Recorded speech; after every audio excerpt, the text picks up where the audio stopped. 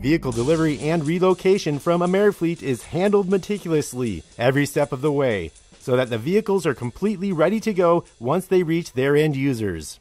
We manage every step of the project, so picking up the vehicles from the dealership, making sure the vehicles are picked up within the designated SLAs that we have with the clients.